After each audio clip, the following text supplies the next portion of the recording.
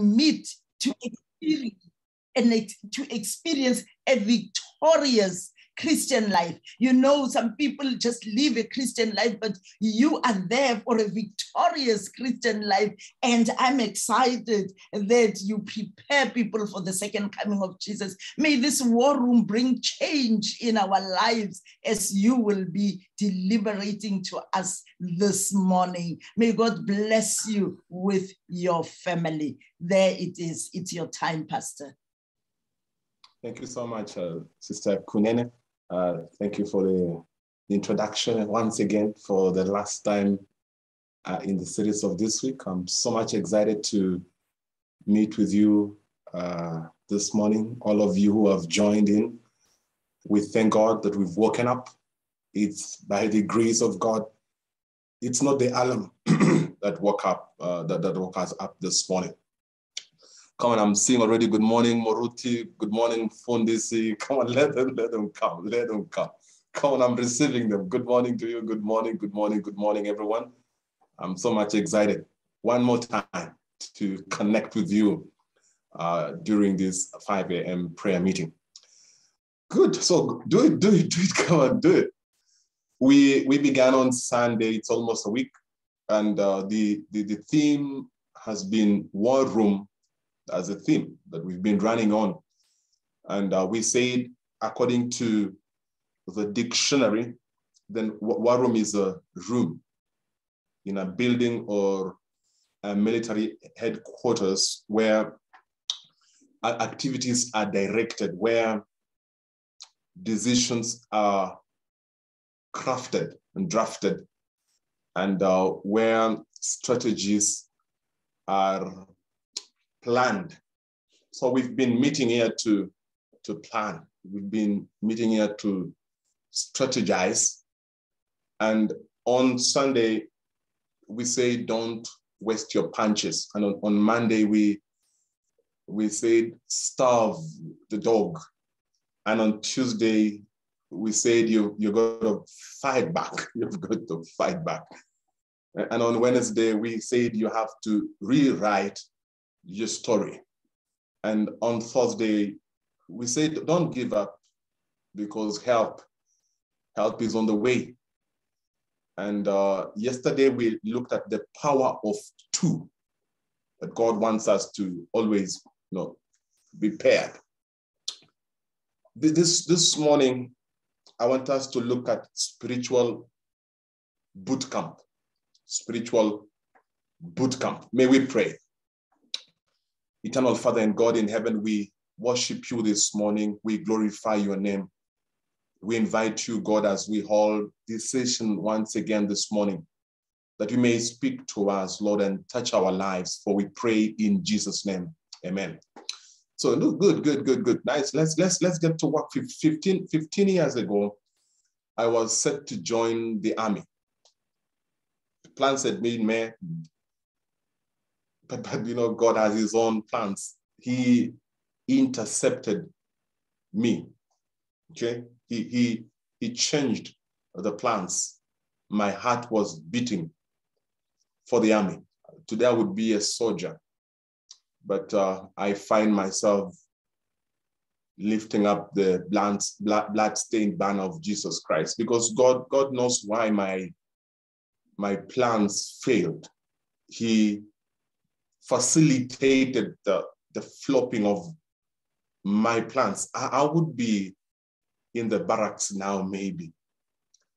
But, but one thing I know is that after you have been recruited and you have been selected into uh, to join the army, then you are taken to a boot camp. You are taken to a boot camp and, and it's, it's, it's my understanding that when you get to a boot camp, and I know they, you have a lot of them in your countries. Back in my country, I know a number of them. You have been recruited, you've been selected, then you go straight to the boot camp. And, and, and what, what, really, what really happens in a boot camp? You go through intense training. You are trained. You are taught endurance. You, you, you are hardened and you're made ready to serve in a battlefield. And, and again, your, your, your, your, your, your pride is, is, is broken and you are reduced to submission and, and, and your self-will is, is stripped away. And uh, it's a time of where, where you learn discipline, you learn to obey commands and orders.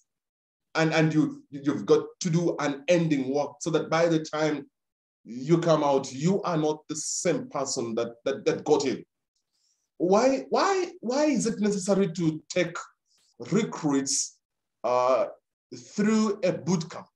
Because you see, when, when we join, when we join, we are coming from diverse backgrounds. When, when we join the military, we, we, we have different pedigrees, different cultures, different upbringings from our home. Some of us are lazy. Some of us are a little bit rebellious. Some of us, we carry some, uh, let me say, bad manners, and uh, that, that may not really work well if you are to operate in, in a group. And that's why the military is Christian. It's referred to as a disciplined force. So, so, so the, the, the, the, the major, the, the denominator is that everybody who joins the military then has to be trained to be so much disciplined and they must learn how to endure. So, so the, the, the, the new recruits who join the military then need some molding because of the factors that I just mentioned, that we come from different places, different situations, but, but we have to be trained, we have to be tutored, we have to be made into one unit. So there's, there's a lot of molding, there's a lot of shaping, and there's a lot of breaking. And by the time that you graduate, by the time we have the pass out parade, there's tremendous change from the person who got in and the person who is now graduating. A lot of change, significant changes. Uh, you, you look at yourself in the mirror and, and you can see a totally new person altogether. You, you have learned to obey orders without even questioning. Yet then before, you would want to question everything. You want to say, why do you want me to do this? But, but, but by the time you are graduating from the boot camp, then, then you've learned no, no, no, not to question. You want to do it first, then maybe you can question later. You, you have lost your rebellious nature. and, and you can now work as a unit. Have you ever seen a military group, soldiers marching and doing their thing? They do it like they are just like one unit. They have learned to follow the leader even unto death if necessary. Why? Because they've been through a training, they've been through a process, they've been through a transformation, they've been through changes that have altered their worldview, altered their life completely in a very significant uh, manner. So, so the soldier is transformed. When he comes out, he's transformed from, from a common man, from a civilian into a battle-ready soldier. Different altogether. The, the guy who got in maybe was a little bit of coward, but now by the time they're coming out, they are really ready to face the issues, the, the battlefield. The soldier learns know a lot in a very short time, like, like nine months maybe, or less than a year. And by the time they, they, they come out, they are totally different. Everything he learns in a, in a boot camp is very essential. And it has helped them to be the kind of people that they are.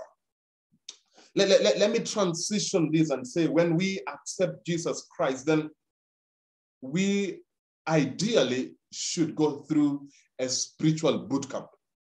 Okay? When we accept Jesus Christ, when we say yes to Jesus Christ, then ideally we should go through a process of transformation, a process of breaking us, a, a, a, process of bringing us to total surrender and total submission.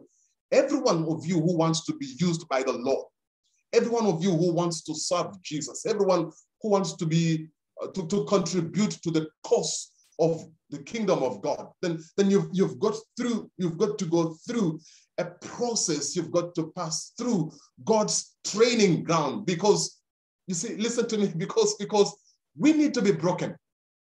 to be blessed. And we, we need to be broken to be used.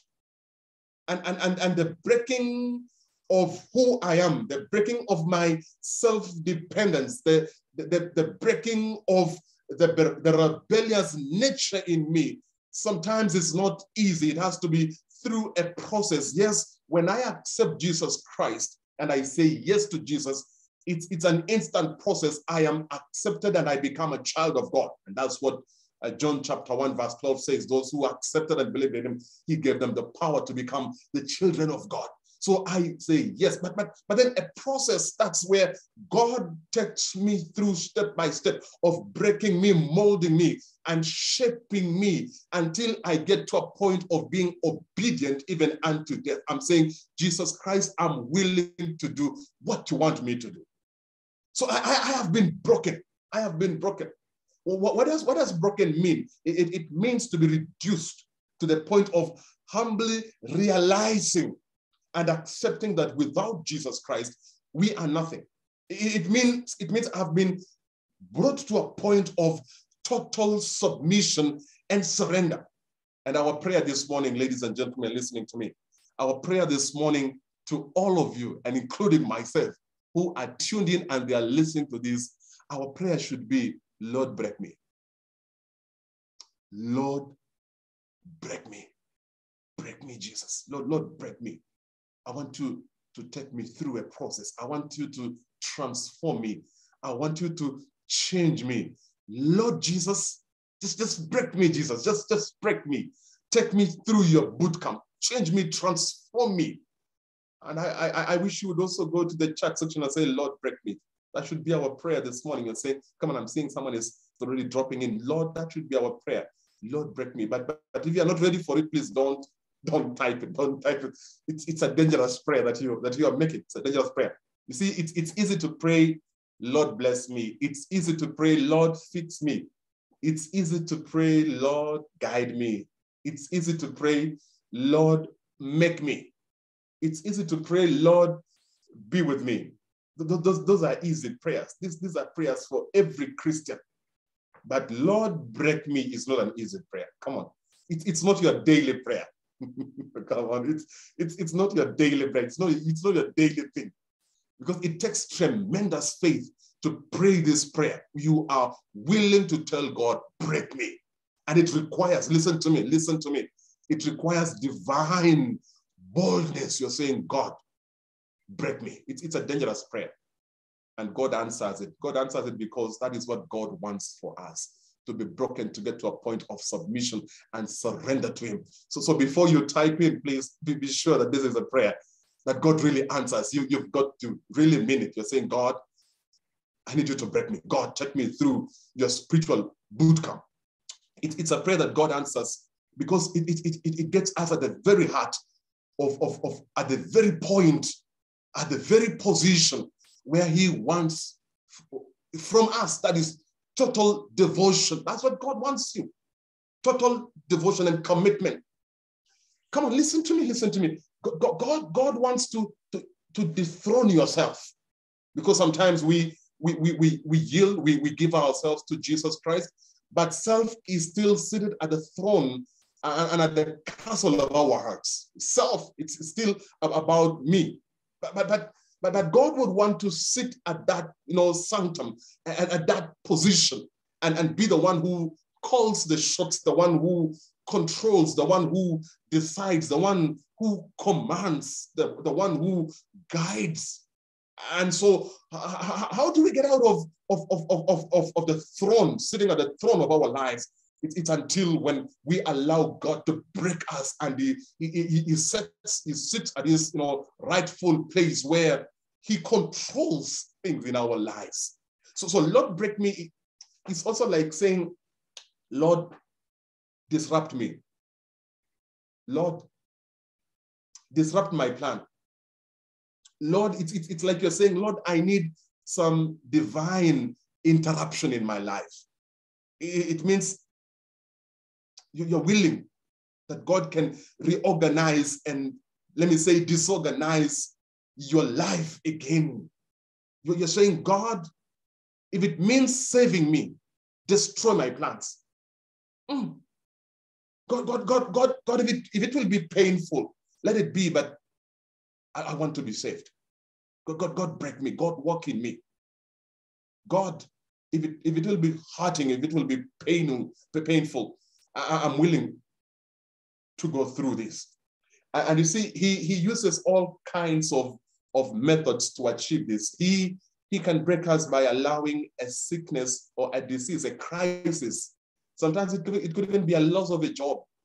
It could be death. It could be financial losses. For others, the Lord allows daily trials, difficulties. He allows you to meet difficult people, maybe a difficult boss, maybe a difficult wife, maybe a difficult husband, maybe difficult children, maybe difficult parents. You, you meet with difficult people. You, you meet with hard circumstances. Sometimes you face physical problems to bring us to the place of brokenness. That's why I said, come on, before you pray this prayer, be very careful. Be very careful. This is a dangerous prayer that we are praying this morning. On, on the way to Damascus, God intercepted and broke Saul and made him Paul. God, God gave Apostle Paul a, a physical illness that he had to handle, he had to deal with, he had to bear, he had to carry, that made him physically weak. Yes, yes, yes, he, he became physically weak, but it also made him spiritually strong. Mm, okay, okay. So, so this guy is physically weak, but but but he's physically strong. But but you know, it, it was it was to bring him to a point of surrender. First, he made him blind in, in Acts chapter 9, made him blind. And then the Bible says there was a thorn in his flesh that he had to contend with, he had to deal with always. But, but this brought Paul to a point of surrender. And, and Paul said, Lord, here I am, 100% yours. Cleanse me and send me. And no wonder Paul was able to accomplish much for the cause of God because he was willing. God broke him. God brought him to a point of submission. If, if, if, you, if you may, please, you may read with me the book of Second Corinthians chapter 12, verse 7 to verse number 10. Corinthians chapter 12. He says, unless I should be exalted above measure by the abundance of the revelations, a thorn in the flesh was given to me, a messenger of Satan to perfect me, lest I be exalted. Concerning this, I pleaded with the Lord three times. He says, I pleaded to God, please take this thorn away three times that it might depart from me. What did God say? And he said to me, my grace is sufficient for you, for my strength is made perfect in weakness. Therefore, mostly, most gladly, I will rather boast in my infirmities. Hmm. I will boast in my pain, that the power of Christ may rest upon me. Okay? get that, get that, get that. Come on, get that, get that with me. I will rest in my infirmities, that the power of Christ may rest upon me. I need the power of Christ to rest upon me. But listen to verse number 10.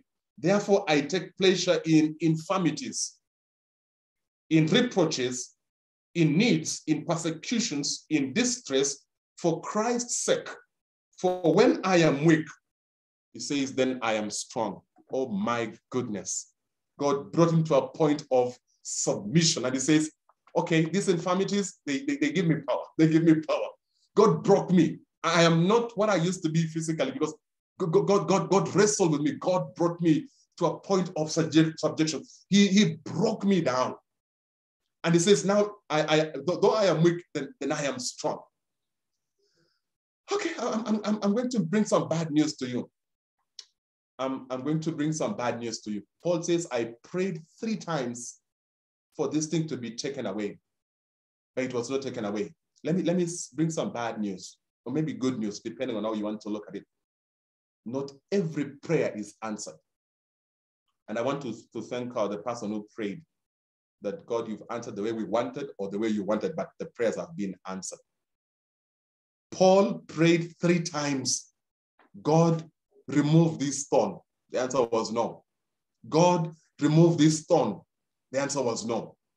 God, remove this thorn. The answer was no. We will live with some conditions in our lives. We will pray, but the same conditions will remain. That's, that's, that's, that's not good news. That's not good news. We, there are some conditions that we will live with in this life. and that's why we normally pray, God, let your will be done. Because we, we don't know. In, in our limited understanding, then we would want this to happen this way.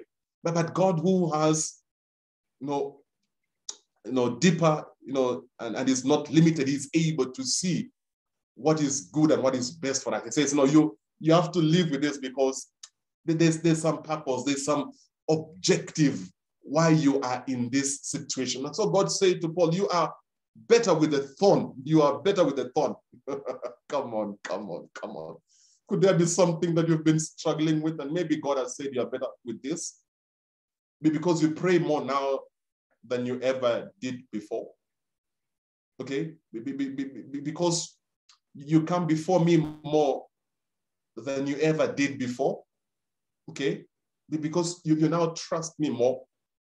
Because you now seek me more because of that limb that is not going, because of that thorn. Because you, you, you, you now rely on me, because you, you now depend on me, because you, you now want me, you now need me. You decide to connect with me. I, I, I normally tell God, please, if there are some things that you know will keep me connected to you in my life, please let them be. Because sometimes when when we feel okay and we, we get to a point that, okay, I can do life, then we, we, we start loosening and we start disconnecting uh, from God. God broke Paul. And our prayer this morning should be, Lord, break me. It's, it's, it's, it's the prayer. It's the prayer for those who are tired with mediocrity and shallowness in your Christian life. You're tired and you're saying, I, I don't want things to be like this again. I, I, I want a deeper intimacy with Jesus Christ. I'm tired with just being on the surface. Is it painful? Yes, it's painful. Is it necessary? Yes, yes, yes. Is it what? Yes. Is it what God wants from us? Yes, God wants us to be broken. He wants to break you of your pride. He wants to break you of your self-reliance. He wants to maybe lose that job sometimes. Maybe lose your health sometimes. And it helps you to, to reroute. It, it helps you to, to look at things from a different perspective. It, helps you to get back to, to, to, to, the, to your default settings, to, to the drawing board, and, and, and, and, and it helps you to reorganize your priorities once again. And, and you know that God belongs here because on the highway of life, sometimes we lose it. Sometimes we lose it as we trudge the, the, the, the, the, uh, the, the upward way. And sometimes as we go through life in this fast-paced life, we, we, we, we find ourselves disorganizing our priorities. And, and, and we find ourselves losing the things that have made us to be who we are today. You know, the, the principles, the tenets that we grew with, even from our families, we lose them as, as, as we go on, on, on the highway of this life. And, and so sometimes God, God allows us to, to, to get back again and, and refocus, refocus and, and try to find our bearing and our, and our spiritual compass.